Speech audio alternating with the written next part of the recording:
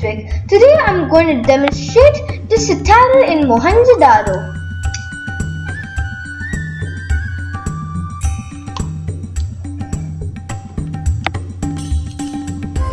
Mohenjo-Daro is one of the most developed and influenced cities in all of the Indus Valley civilization or the Harappan civilization. Mohenjo-Daro can be categorized into two districts, the citadel and the lower town. Today we're going to uh, today I'm going to demonstrate a model which I made of the citadel in Lego Digital Designer. This model contains 4287 bricks in total. Mohenjo-Daro has various structures. Let's start from the Great Bath. The Great Bath is a pool situated in the center of uh, Mohenjo-Daro.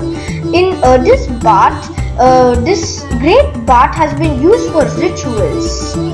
These two staircases uh, point to the north and south.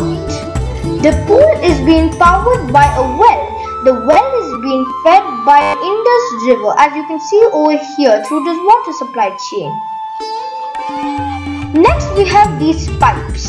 All these pipes are actually water supply chains which have been fed by the Indus Valley or the Indus River.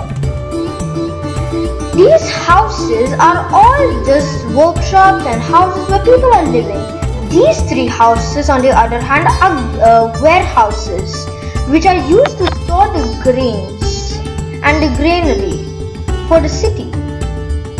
This over here is a tower in Mohenjo-Daro.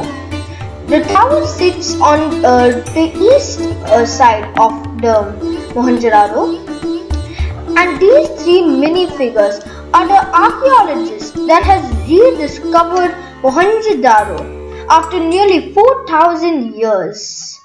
Their names are Devadatt Ramakrishnan Bhandarkar, uh, Rakhal Das uh, uh, Banjari, and Sir John Marshall.